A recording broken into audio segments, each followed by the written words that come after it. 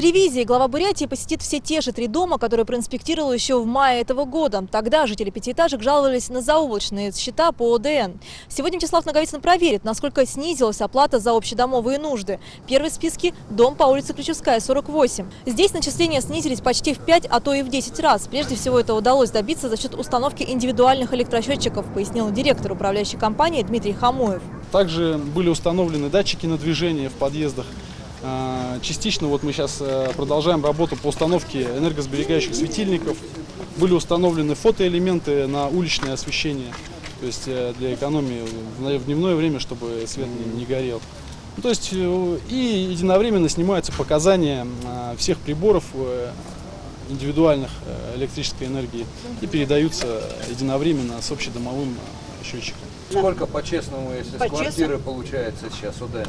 ОДН Сколько с квартиры. Да. Вот я, а, как, одна комната у меня, где-то я 17 рублей сейчас плачу. Ага, 17, а платила по, по, по- и по 100 рублей платила даже. ага. У По меня 80. трехкомнатная, тоже 17 стало. Ага. До 200 рублей мы платили.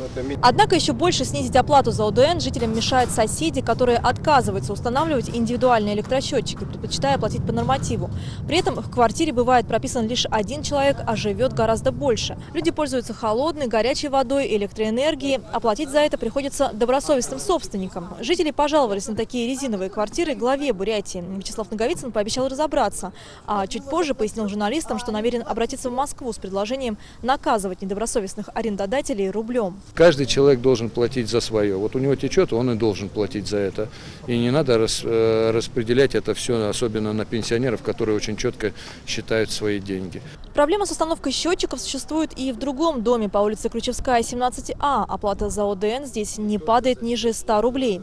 Как пояснила директор управляющей компании, в этом доме не создан совет жителей, а потому никто не следит за единовременным снятием показаний. Впрочем, замечания есть и к самому ЖЭКу. Ну, посмотрели, вот эти вот э, кобры стоят, они лампы накаливания же здесь Да, они только вечером загораются. загораются, но все равно они же это самое, потребляют очень много.